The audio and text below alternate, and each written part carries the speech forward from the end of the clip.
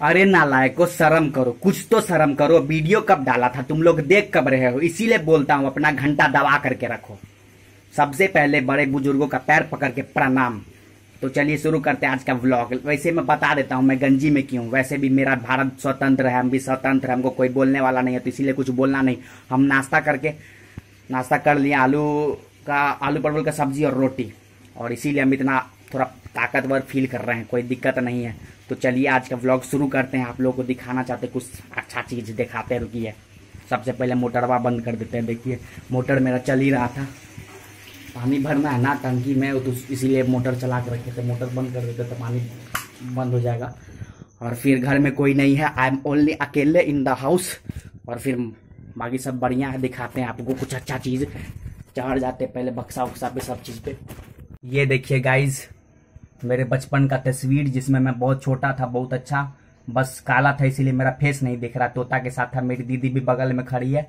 और इसके बाद हुआ कि मैं बड़ा हो गया कुछ, और ये जो ब्लू स्वेटर में दिख रहा हूँ, यही मैं ही हूँ, सबसे खूबसूरत लड़का। हाँ दिख सकता है, आप लोग भी देख सकते हैं, मेरे पापा, मम्मी सब इधर, और ये मेरी दादी जी है, और मेरी दीदी इधर। और ये देखिए, उसके बाद मैं कुछ साल बाद बड़ा हो गया था, और ये मेरा भाई है, मेरी दीदी है। और उसके बाद मैं पापा इस सब के साथ था फ़ोटो में इसमें मैं, मैं बड़ा हो चुका था। यहाँ पे देख सकते ये वाला जो नाला का और उसके बाद मैं सबसे क्यूटेस्ट बंदा सबसे चिपकू आदमी देखिए कहाँ पे चिपक करके मैं बैठा हुआ हूँ। मुझे चिपकने का बहुत शौक है कहीं पर भी। कितना क्यूट लग रहा था और ये मेरा भाई हमसे भी ज़्यादा क्यूट लग रहा था। बाकी सब तो क्यूट ही है। और उसके बाद देखिए सबसे अलग मेरा ये स्टाइल है। देखिए तो क्या कर रहा हूँ शर्म भी नहीं लगता है।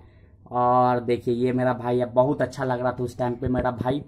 और ये मेरी दीदी है, मेरे पापा, ये मम्मी। और इसमें देखिए कितना कूल हो और इस इस टाइम पे जो मेरा फ़ोटो इसमें जो मैं घड़ी पहन रखा हूँ ना, ये वाला मेरे पास अभी भी उतने सालों का घड़ी मैं दिखाता हूँ आप लोगों को, रुकिए। तो ये घड़ी इधर रखा हुआ है इसमें। और ये सब जो है, मेरी दीदी का अचरा कचरा सब कचरा धचरा सब इधर ही है। तो इस डब्बा को निकालते हैं। और इसे लात खाने का तो पूरा संभावना बना रहे हैं। मम्मी सब आए तो कूट देगी, कहे कि हम सब उलाट पुलाट कर के रख देंगे। देखिए, ये घड़ी मेरे पास अब भी है। ये घड़ी 2014 में खरीदाया गया था और अभी 2023 चल रहा है। इस समय तक मैंने रखा हुआ हूँ, तभी मैं बच्चा तो देखिए। आजकल मैं इसको हाथ पहनूँगा तो अटेगा नहीं, पहन के दिखाते हैं। तो देख सकते हैं, खूबसूरत से हाथों में खूबसूरत सा घड़ी पहन लिया जिसका हाथ पैर कुछ नहीं है, ऐसे ही बस। और बैटरी बस इसका डाउन है बाकी सब बढ़िया है, इसको रखा हुआ है इसलिए क्योंकि मैं, जब मेरे दादाजी देहांत हुए तो उसी टाइम पे ये घड़ी खरीदा था। मुझे कोई टेंशन नहीं था कि दादाजी देहांत हुए क्योंकि मेरे हाथों में नया नया घड़ी आया था उस टाइम पे। हम खुशी हो रहे थे उल्टा। लेकिन थोड़ा सा गम हुआ था, ऐसा बात नहीं हम उतना भी ना लायक नहीं अरे निकल जा भाई तो अपने घड़ी को तो मैं रख दिया हूँ। देखिए, मैं पढ़ पढ़ने ही बैठा ही था, बस पढ़ने का मन नहीं कर रहा था, इसीलिए उठ के बंदर की तरह कूद काद कर रहा हूँ। तो देख सकते हैं, ये मेरा किताब सब खुला हुआ है। और एक चीज़ और दिखाता हूँ मैं, बचपन का लव लेटर जो कि अभी तक रखा हुआ बहुत पुराना निशान है देखा तो देखिए, टंगड़ी पसार के बैठ गया और अपने बैग में हाथ घुसाता हूँ और जल्दी से निकालता हूँ कुछ सामान जिसमें है रखा हुआ मैं। अरे, निकल जा भाई हो मैं अपना वॉलेट निकाल लिया हूँ और ये वॉलेट बिल्कुल फट चुका है। इसमें है कुछ पैसे जो कि मैं रखा हुआ हूँ अपने पॉकेट मनी का और कुछ nothing is nothing nothing is कुछ नहीं है बट ये भी मेरा क्यूटेस्ट फ़ोटो बचपन का, दोनों के दोनों।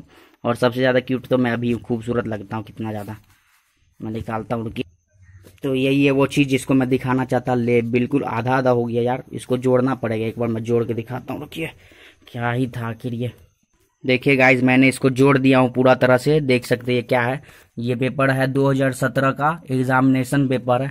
हालाँकि मैं इसको इसलिए रखा हूँ कि ये किसी मैम ने हमको दिया था और वो मैम हमको बहुत अच्छी लगती थी, इसीलिए मैं रखा हूँ। समझ सकते हैं आप लोग मेरा भी कष्ट क्या था तो इसीलिए रखा हुआ अभी तक टिक गया अभी तक फट गया, पता नहीं कब तक टिकेगा, लेकिन रख तो लिया हूँ। और सिर्फ़ आप लोगों के कारण ही मैं गर्मी में भीग चुका हूँ पूरा, क्योंकि पंखा तो चला नहीं सकते, उतना तो मेरे पास माइक है नहीं तेज जो मेरा आवाज़ दूर से सुनेगा, और माइक खरीदने के लिए मेरे पास पैसा है नहीं। हाँ इसीलिए तो बोलता हूँ, भूल भी गया हूँ क्या बोलता हूँ। और अभी मैं पंखा चला लेता हूँ, नहीं चलाऊँगा। चलो गाइज़ वीडियो अच्छा लगा तो लाइक कीजिए कमेंट कीजिए दोस्तों में शेयर कीजिए, और नहीं अच्छा लगा तो मोबाइल को पटक के फोड़ दीजिए, मिलते हैं अगले वीडियो में, तब तक बने रहिए।